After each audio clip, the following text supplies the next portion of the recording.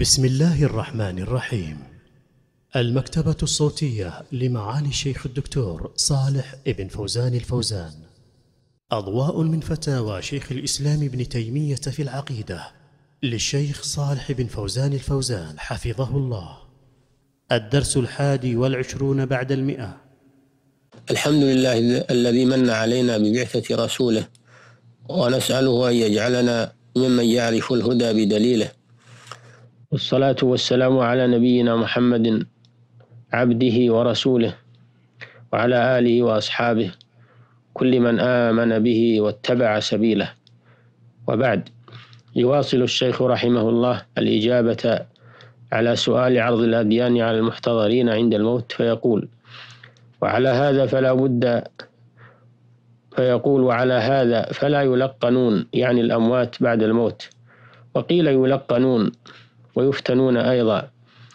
وهذا قول أبي حكيم وأبي الحسن بن عبدوس ونقله عن أصحابه وهو مطابق لقول من يقول إنهم يكلفون يوم القيامة كما هو قول أكثر أهل العلم وأهل السنة من أهل الحديث والكلام وهو الذي ذكره أبو الحسن الأشعري رضي الله عنه عن أهل السنة واختاره وهو مقتضى نصوص الإمام أحمد. ثم قال رحمه الله إجابة عن السؤال عن عمل المرتد قبل الردة هل يثاب عليه؟ فقال وأما وأما الردة عن الإسلام بأن يصير الرجل بأن يصير الرجل كافرا مشركا أو كتابيا فإنه إذا مات على ذلك حبط عمله.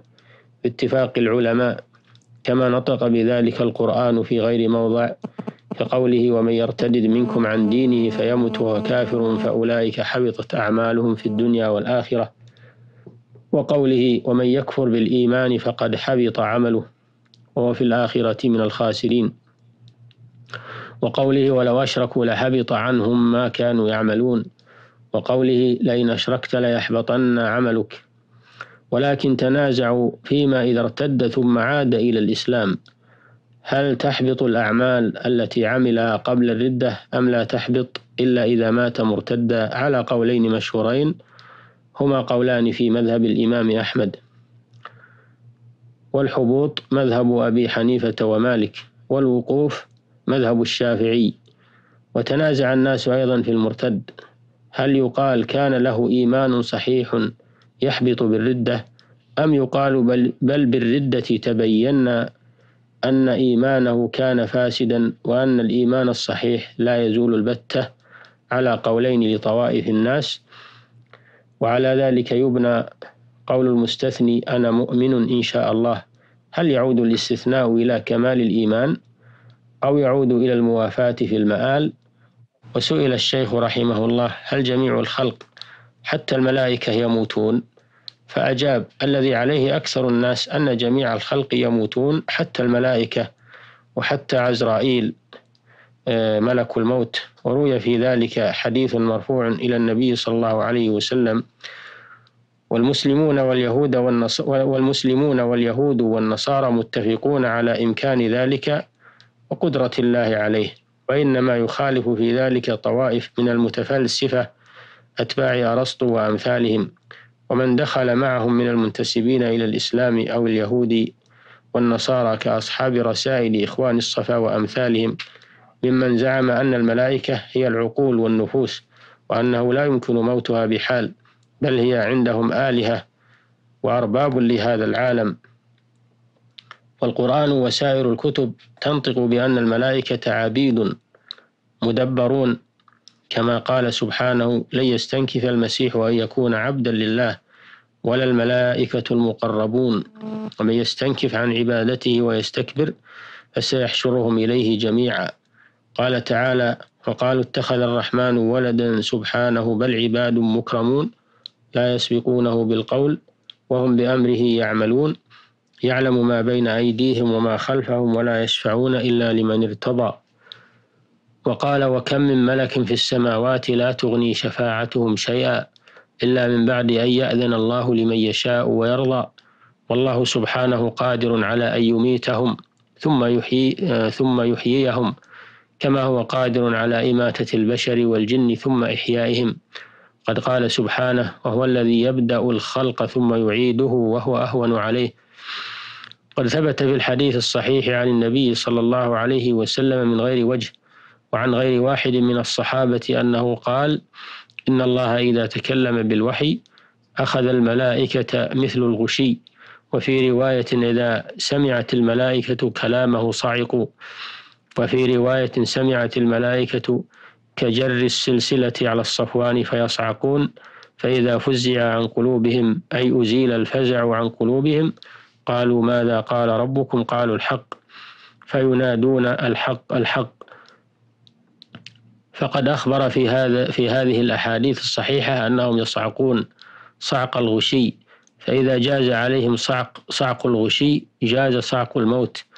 وهؤلاء المتفلسفة لا يجوزون لا هذا ولا هذا. وصعق الغشي هو مثل موسى عليه السلام.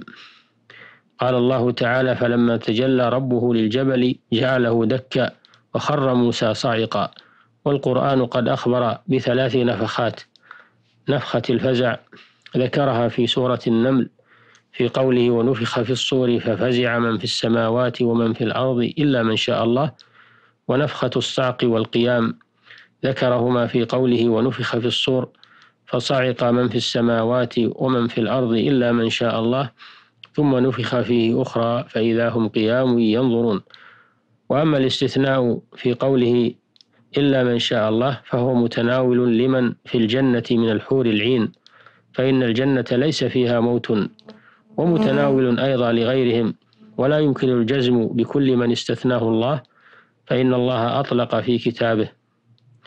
قد ثبت في الصحيح أن النبي صلى الله عليه وسلم قال إن الناس يصعقون يوم القيامة فأكون أول من يفيق فأجد موسى آخذا بساق العرش فلا أدري هل أفاق قبلي أم كان ممن استثناه الله.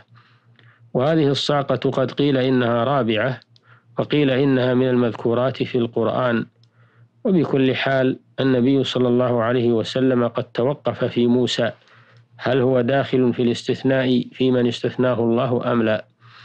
فإذا كان النبي صلى الله عليه وسلم لم يخبر بكل من استثناه الله لم يمكننا نحن أن نجزم بذلك. وصار هذا من ال... وصار هذا مثل العلم بوقت الساعة وأعيان الأنبياء وأمثال ذلك مما لم يخبر به وهذا العلم لا ينال إلا بالخبر. انتهى كلام الشيخ رحمه الله. وقد تلخص منه التوقف في شأن الملائكة هل يموتون أو لا لأن هذا يتوقف على الخبر الصادق عن موتهم مع إمكان ذلك وجوازه.